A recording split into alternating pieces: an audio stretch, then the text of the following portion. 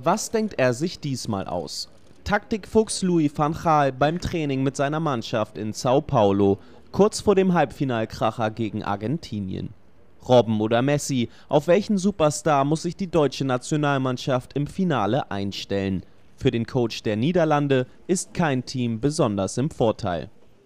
Ich denke, dass er geen Favorit ist. Ich denke, dass in de, in de halve finales. Äh, ich glaube nicht, dass es einen Favoriten gibt. Im Halbfinale sind alle Mannschaften auf einem Level. Das Ergebnis wird so ähnlich sein wie im Achtel- oder Viertelfinale.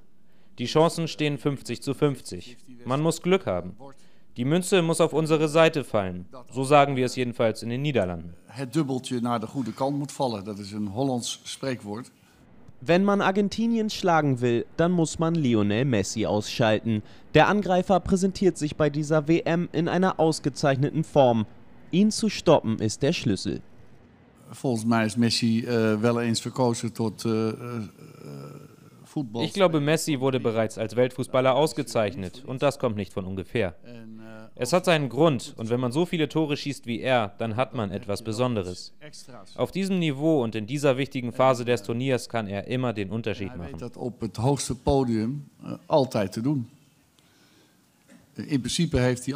Normalerweise hat er immer Probleme, seine Klasse auch in der Nationalmannschaft zu zeigen. Das will er in diesem Turnier ändern. Daran müssen wir ihn hindern.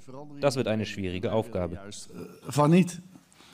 Dus dat wordt een uitdaging. Eine Aufgabe wie gemacht für Van Gaal, der offenbar auf jedes Problem eine taktische Antwort findet. Verzichten muss der Bondscoach dabei aber eventuell auf Robin van Persie.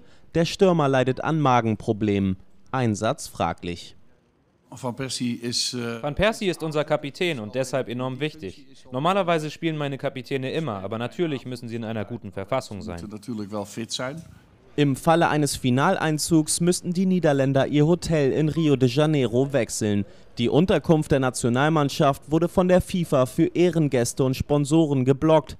Ein ähnliches Szenario wie bei der WM in Südafrika vor vier Jahren. Damals mussten die Niederlande ebenfalls umziehen.